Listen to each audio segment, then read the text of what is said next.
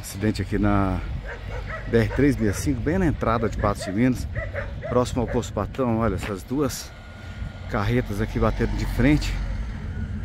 É, essa aqui, ó, parece que inclusive começou a pegar fogo.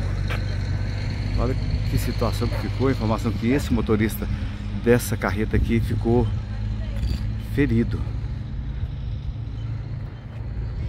Em um dos sentidos o trânsito está interditado.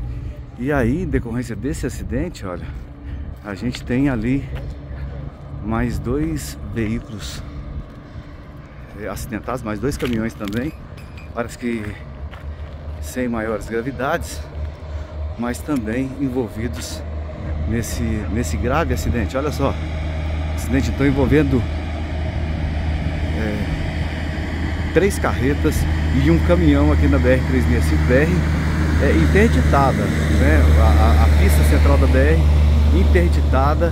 Nesse momento aqui a gente vê que é um caminhão que estava carregado com melões. Olha a quantidade de melões aqui espalhados.